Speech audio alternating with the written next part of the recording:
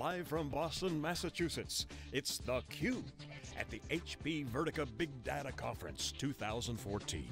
Brought to you by HP.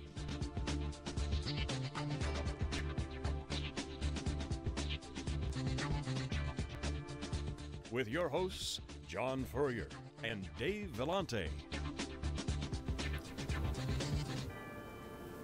Okay, welcome back. We're here live inside the Cube in Boston, Massachusetts for HP's Vertica conference for big data. I'm John Furrier with Dave Vellante. Our next guest is Jim Cochrane, CIO, Executive VP of United States Postal Service. Welcome to the Cube. Thank you. Um, a lot of disruption going on in a lot of industries. You know, one of the things that Dave and I always talk about, certainly in, in the you know the born on the cloud, is things like Uber. You know, it's completely changing the, the whole business of transportation with, with uh, taxing. I was joking when I got into Logan, hey, is Uber? And they get the dirty looks from the taxi drivers. Like, you know, very disruptive that kind of trend. Um, shipping and transportation obviously has a lot of impact, a lot of disruption. What's the state of disruption in in in, in the delivery and the aspects of things in your industry? Well, I think Uber is a good example of it. I mean, so you know, big players like the UPS, the Fed, FedEx, the Postal Service are all very active in that space, but as this whole crowdsourcing of delivery and these small courier companies are, are a real challenge for us because it's, it's a different entry, it's uh, different price points. We all have a pretty good sense of what it costs to deliver things around the world. So um, they're, they're part of the disruption that, that concerns us, I think, in, in many ways. Uh, I mean, we're, the Postal Service is a big paper-based company, so digital in general is disruptive to our business model. What's the biggest change that you've seen in the past five years that, uh, that's kind of hit the shores of, of your organization and your teams? Um, that's, that's giving you, getting you guys excited as well as nervous. you know, so some of the times that's the best technology. It's like, what, what have you seen that's, that's kind of uh, floated inside? Just, inside? just the state of retail in the U.S. Uh, um, e-commerce is has been a you know, I think I think back seven years ago, I was in marketing at the time, and and and the, the internet was going to you know, kill the postal service, and it has had an effect on our business model. But uh, the e-commerce and, and the, and, the, proliferation of how people have changed how they shop has been a tremendous boon for our business. Um, we are actively growing our shipping business. About this year, we're up about nine percent on revenue. So yeah. Um, it, it, has really helped us in, in many ways as we kind of convert from more of a delivering mail and packages to more packages and a little less mail. And the timing is compressing too. I mean, you, now you're talking about same day delivery. I mean, right. is, how, how, are you guys responding to those types of pressures? So we, uh, we, we've got um, a, a, product that we've had in the marketplace that UPS and FedEx in a, in a very interesting way is a, uh, a world of competition that we actually deliver packages for them. But even Amazon and companies like that are now coming to us at as late as like 7, 8 o'clock in the morning. We're delivering them that day. So you can shop it up until midnight, get uh, order something, get it fulfilled, brought to a post office, and we deliver it that day. You know, it's interesting, everyone talks about privatization, but sometimes it's all about speed, right? So the value here, the value proposition seems to be real time, and obviously we're at a big data conference, you can't swing a, a stick without hitting the word big data and real time kind of together. With cloud and mobile, as, as, a new user experience. So you're seeing mobile, I want things delivered to my house. Uh, there's a service called Deliv, which brings stuff in. And also mm -hmm. Amazon wants things that drones will deliver packages. So are drones in your future? Are you going to be like sending drones out? Drones you know, army of up. drones? Um, who knows what the, I mean, the, the, pace of technology change in five years, who knows? I don't think drones are in any immediate future for delivering packages. Good marketing stunt by but Amazon. But it, it, was a brilliant timing to be on, I think it was like you know, the Sunday before Cyber Monday that, that, that aired, so great marketing. Yeah, yeah. Um, but you know, once again, they are looking at it. They are actively looking at it, and we've had engineers look at it, and I think the technology has to come a long way. But that said, uh, you know, we, we do manage 300,000 mobile devices, and, and I think customers are doing more and more. That's one of the the changes in commerce that's affected is, is this whole mobile shopping and the ability to to understand where things are. And people track pizzas nowadays, so you know they want to track packages and constant updates on where they are. Do you see your retail base changing? Because if, if the trend continues where if big data, as Colin Mahony was talking about and, and the industry's top analyst Jeff Kelly was talking about, where practitioners are adding value using data, you in a way are being, wholes you could wholesale your service uh, because you have the data. So there's a lot of, a lot of technology involved in your system already. And then potentially you could essentially expose an application, have an API, JSON feeds or whatever you guys would do. Do you see that evolving, that kind of direction? And do you guys have enough in-house foundation to potentially do things like that? So we're a bit of a hybrid. Uh, we have some cloud opportunities out there, and, and uh, but we're pretty mm, uh, large um, data center. Um, we are capturing over a billion tracking events on mail-in packages a day right now, and it tells us a lot about where things go in the United States. Um, we go to 151 million doors today. We're on every street in the United States, and all those that network, I think, creates some real interesting opportunities for the business going forward. I wonder if you could talk about that a little bit. Everybody's look, re-looking at their business saying, okay, what are my assets and, and, and how can I digitize them? I mean, you just talked about this amazing network, 151 million doors. You've got vehicles, you've got point of presence and post offices all yeah. over the world. So how are you thinking about you know, digitizing those, or are you thinking about digitizing those assets, and in what form? Well, the one that, I mean, mail is still our core business, and, and you know, we've been on a, a journey in, in, light of you know, the conversation today, but we really have been on a journey to create a digital reflection for all mail and packages. That's those billion tracking events per day. So every piece of mail, every catalog, you know, an LL Bean catalog going to the mailbox is being tracked all the way to the mailbox, and we confirm to LL Bean um, that it's been in the mailbox because that creates an opportunity to bundle that with other media. They can then send a text message, an email, uh, align it with other forms of media. So I think media in general and how to reach customers is, is, is challenged by digital. You know, traditional TV is challenged. You, you have DVR technology. Whether you're on radio, you have the, the Sirius XM. So uh, I think all media is, is, is, facing some challenges because of digital, and, and mail's like is, is one of those. But I think mail has got a real opportunity to be more relevant using this information to what goes in each of your mailboxes is important to you as, a, as, a, as an individual, so tracking is a core competency for you guys. You'd say oh, tracking oh, is a big time core competency. Absolutely. And, and, the, and what does digital do for you? How do you see that changing and adding to that uh, core competency? Well, it, it, it, you know, we're a delivery company, and, and it, it, it, actually helped us understand a lot more about our network and, and, and really gave us some diagnostics on cycle time, on how things were moving, and, and pair analysis. So uh, the data that we did to satisfy customers, tracking was a customer requirement, but on, along that journey, we found ways to use it to make our operations a lot more efficient. So you create business value, we can drive costs out. We're a very labor-intense organization. We have almost a half a million employees.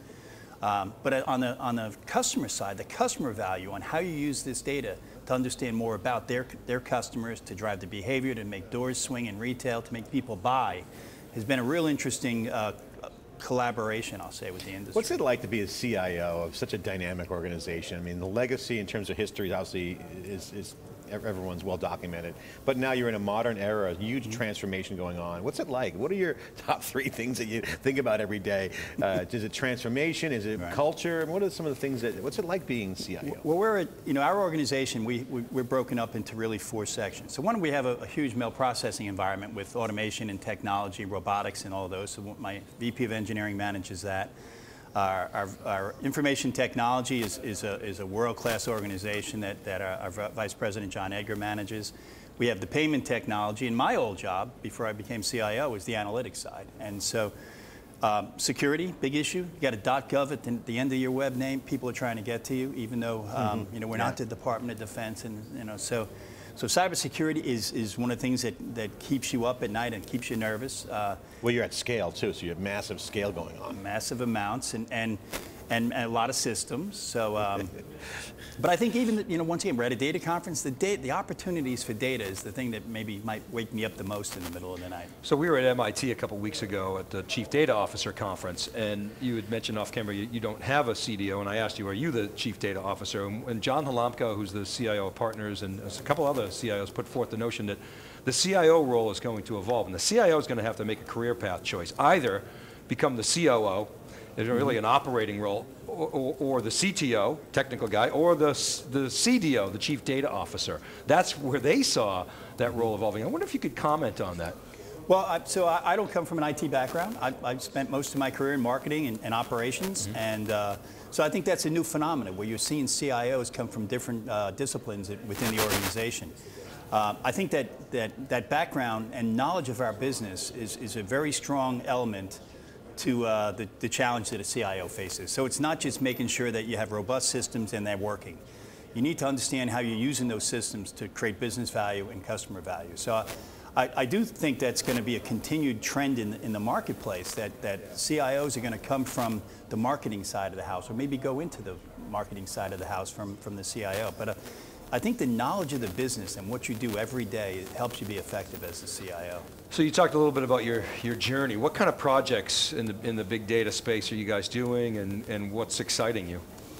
I think the one that, that's most exciting is, is, we're, is we're gathering these billion tracking events that we have a day right now, over a billion a day, and, and we're, we're building new systems. And, and the real challenge is, is speed and, and, and velocity, because I think is, we're a complex organization, and sometimes what happened yesterday is fine, but more and more what happened, you know, we need to turn around on data that's in milliseconds. So we're actually looking at some interesting technology to allow us to scan a barcode in Guam and get a response back that tells me the dynamic route that it's going to go to in the sequence of that delivery. And so I, I think some of the, uh, the, the, general purpose GPU technology is kind of interesting right now and how it helps you ingest data and, and move data around.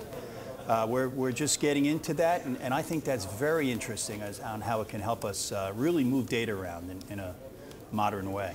So turning data around in milliseconds, that sounds like a, the new mandate. That is real time. Yeah. You can't have any lag. And what kind of pressure is that going to put on existing data warehouses that are out there? Yeah. I mean, what's the lag time on those current things? If you know the query, even if you yeah. know what you want.